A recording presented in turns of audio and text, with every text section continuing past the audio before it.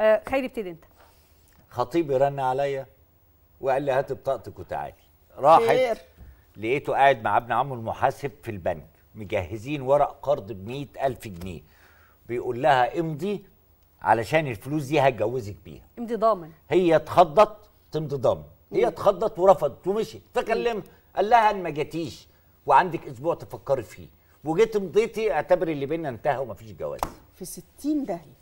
الله عليك في 60 داهية. ده بيورطها توريطة تتسجن فيها.